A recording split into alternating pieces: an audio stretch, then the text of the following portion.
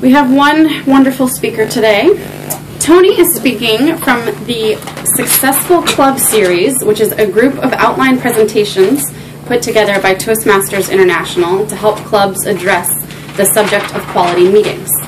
While this is one of the requirements toward his Advanced Leader Bronze degree, he's also presenting the speech on Toastmasters meeting roles and responsibilities to teach new members about the functions of a meeting while brushing up longtime active members as well. Tony has been active in clubs and organizations since his youth, being a part of the 4 H, FFA, Farmhouse Fraternity at the University of Minnesota, which sounds particularly intriguing, and Toastmasters. The title of his speech is Meeting Roles and Responsibilities. Tony Dahlman.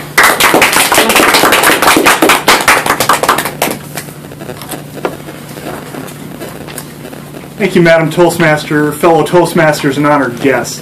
It's, uh, I was out walking, uh, uh, beautiful weather out there. Like I said in my introduction, I'm from Minnesota, so I, I like this weather out there. And I was watching some guys, and they were out in one of those community gardens. Everybody has seen those community gardens out there? Yep. So it's uh, it's uh, as they were going along, it was one of them was digging a hole, and then the other guy was filling in the dirt for that hole. And they kept on doing this over and over and over. And it's like, what in the world are they doing? Is this some type of that government waste that we that, that, that myth that we hear about? So I finally decided to go up to them and I asked them, "What are you doing?" And they said, "Well, we're doing work." It's like, well, aren't you sure? It, it sure looks like you're doing something wrong. It's uh, what's going on here? And they said, well, something's going wrong. It's Billy's fault. He's not here. I'm like, what does that have to do with it? It's like, it's Billy's job to put a seed in the hole. there, there's some very valuable lessons here about teamwork. That even if everybody is uh, doing uh, their job, if there's one person missing out, that can make everything go wrong. And there's no better place we can learn that than our Toastmasters meetings. There's a lot of functions and roles and responsibilities that we all need to go through. Now, today, as as Laura mentioned, I'm speaking from the Successful Club series, and this is a series of speeches that Toastmasters International has put out in an effort to help us function as a club just a little bit better. So I know we have a lot of new members coming in, but I also know we have a lot of members who would also not mind on just brushing up on some of the responsibilities of all of the different things we have during meetings. So we're going to look at two main areas today. We're going to look at uh, some of the roles that need to be covered during meetings, and we're also going to look at some of the responsibilities of some of the officers themselves. But we're going to start out with some of the assigned meeting roles, and as uh, and as our Toastmaster of the days knows, there's a lot of them that have to be that have to be gone through. And even though we go through them at the beginning of all of our meetings, uh, I'm going to go over all of them right now and just give some tips on some things that we can do as a club to just do them a little bit better. Uh, first and arguably most important is Toastmaster, as we call it in our club, Toastmaster of the day. The Toastmaster is in charge of leading the meeting. They're in charge of uh, reviewing the agenda. So it's uh, they provide a very important job in the meeting because they provide some very important leadership on uh, what is able to make the uh, club function as a whole some other areas that they're supposed to do. They're supposed to talk to all of our speakers and get an introduction going for all of the speeches. A lot of times uh, we, we don't spend enough time on our introductions and making sure that the Toastmaster of the day is able to properly introduce some of our speakers. So the Toastmaster should get in contact with all the speakers before the meeting and make sure that they have a proper introduction for them. Next area that we're going to look at is Table Topics Master. Everybody here is familiar with Table Topics, the one to two minute impromptu speeches. Table Topics Master is obviously in charge of getting, uh, getting all of those questions organized.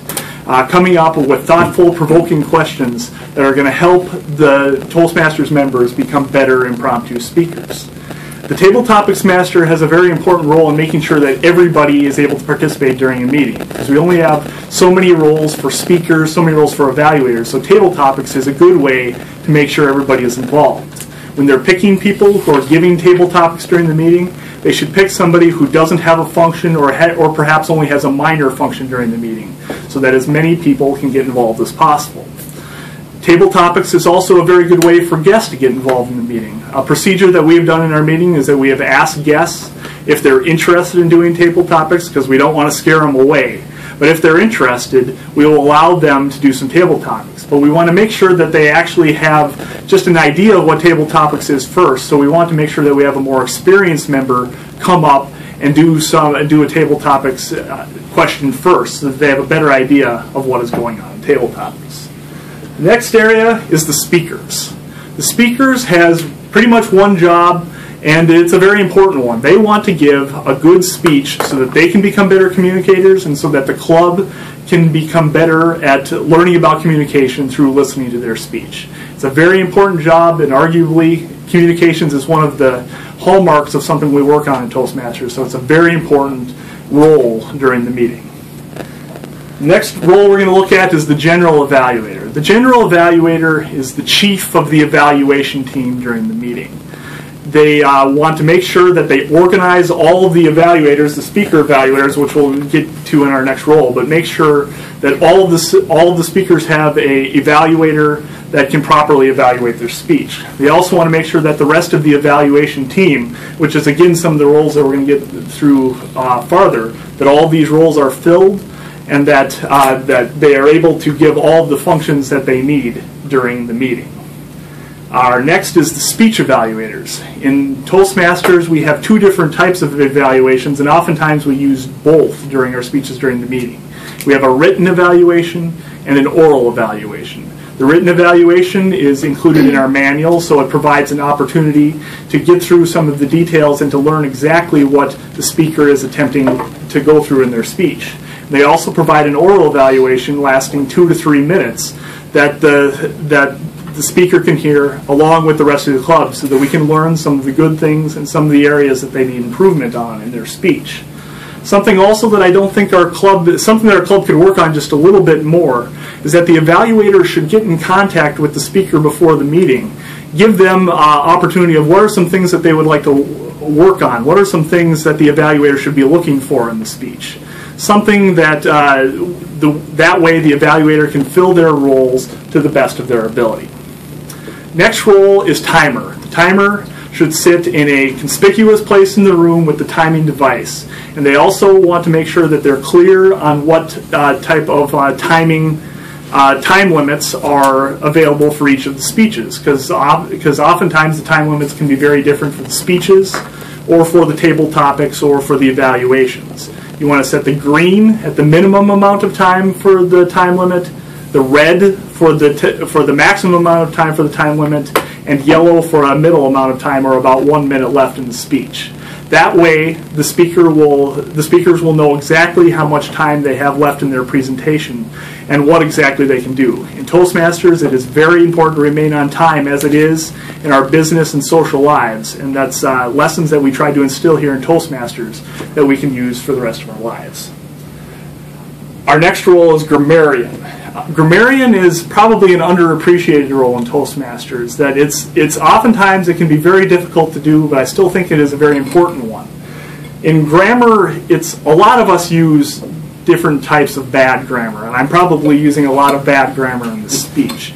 The grammarian should try and pick up on some of those things that we're probably not thinking about in our minds, but point them out so that the speakers can improve themselves and attempt to better themselves if uh, it is only if these pieces of bad grammar can be pointed out are we actually able to work on them. And not to be confused with grammarian, we also have the awe counter. This is something that I've always been interested in Toastmasters is that we're counting the ahs and we're counting the ums, we're counting those filler words of things that should be done during speeches.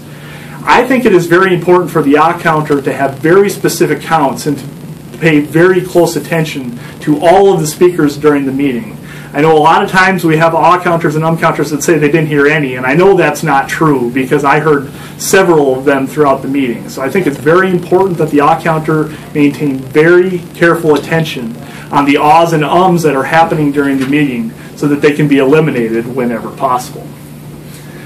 Something that we have in our meeting is listener. In some previous Toastmasters clubs I've been to, it's, this role has also been called the quizmaster but the listener is an attempt to increase our listening skills. And they listen to all the speeches, they listen to all the table topics, and they can even listen to the evaluations. And they're meant to test our memory to make sure that we have been paying attention towards everything that is done during the meeting. And at the end, they ask uh, anywhere from one to two to four to five questions just to make sure that we have been listening and that we have been paying attention during all, all of our speeches. The ballot counter counts all the ballots during the meeting, and that they will uh, count all the, for the three things that we vote on: the best speaker, best table topics, and best evaluator. Uh, they will pass it around in these envelopes, and they, we want to make sure that the ballot counters are able to do a good job in uh, getting all those ballots, getting them counted quickly, and then pass on the results to the president who will announce at the end of the meeting. And last and not least is our Joke Master. Joke Master is a nice, easy way that you can practice public speaking in the meeting without necessarily having to go through all the work of having to prepare an entire speech it's, uh, it's, it seems like in our club, Joke Master is one of the last roles to get filled. But I would encourage us to put a renewed effort on Joke Master so that we can have people practicing public speaking through the very fun way of telling a joke in order to start off our meetings. So now that we have gone through the assigned meeting roles, we're going to shift gears a little bit and we're going to talk about what are some of the roles of some of the club officers during the meeting. And we, we have a very good officer team here, and I know they all do a good job of figuring out what they need to do. The role of the sergeant at arms, they want to make sure that the room is all set up, that the room is secured, that our banner is in place, that our easel is in place, and they also start off and adjourn the meeting. So that's a very important role for the sergeant at arms. The president sets the tone for the meeting, and they also make sure that all the announcements are shown at the beginning and the end. The Vice President of Education is in charge of the educational aspects of our meeting. They want to make sure that all of our speaker roles and that all the rest of the meeting role functionaries are filled. Uh, Vice President of Public Relations is in charge of making sure that uh, there's publicity out there for our meeting, that uh, we're able to uh, tell the uh, members of our club, members of our area and district, as well as members of the general public information that may be pertinent for Toastmasters. The Vice President of Membership is in charge of trying to get new members into our club. Get them, uh, uh, uh, is acts as the chairman of any recruitment efforts that we would have for our club in an effort to rejuvenate our membership as, our, as we go along. The secretary is in charge of keeping minutes of the meeting and keeping a record of the meeting. And this can vary by club. I've seen it done in many different ways, but I would like to see our club actually have a record of, of what goes on during our meetings in terms of speakers and evaluators and table topics.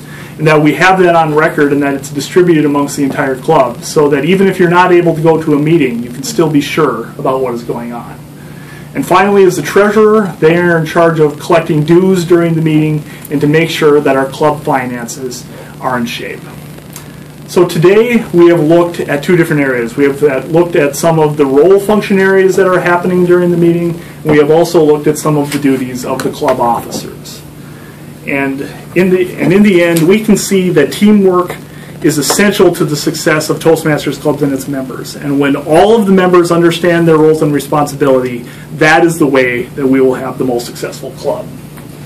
I will conclude my speech with a quote by Henry Ford the famous American entrepreneur, coming together is a beginning, keeping together is a progress, and working together is success. Let's all work together as a team and become a more successful club.